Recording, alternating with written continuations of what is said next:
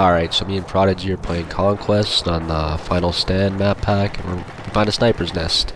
Hey, let's have a little bit of fun with this. So we see the guy is completely oblivious to our presence, just sniping like 1,000 meters, probably not being that much of a help to his team. So we try to throw some tea bags in, we get the idea of uh, probing him with a frag grenade and a repair torch.